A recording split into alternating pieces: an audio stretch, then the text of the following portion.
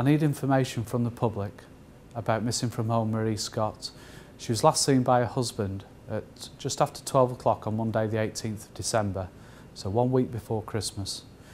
She left her home address uh, in Altrincham, Hale, and got a tram into the Manchester city centre.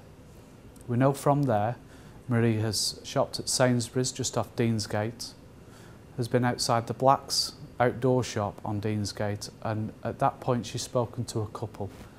I'm really interested to hear from that couple about what they spoke with Marie about.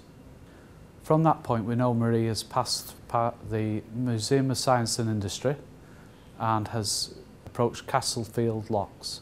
At that point she's wandered around a little bit and she's spoken to a number of people before last been seen outside Duke's 92 at just after uh, 10 past 2 pm. I'm really concerned for Marie's safety. Uh, I know she's been through a really rough time recently. I'd appeal for Marie to come forward. There is support and help available for you.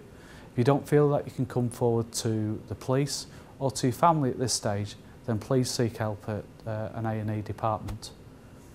Anybody that's spoken to Marie can phone 101 or pass information confidentially to the Missing Persons charity. We can follow those lines of inquiry and find sightings of Marie on CCTV cameras. We've searched the area, we've used CCTV uh, to try and track Marie's movements, but at this moment our last sighting is at 10 past 2 p.m. outside Dukes 92.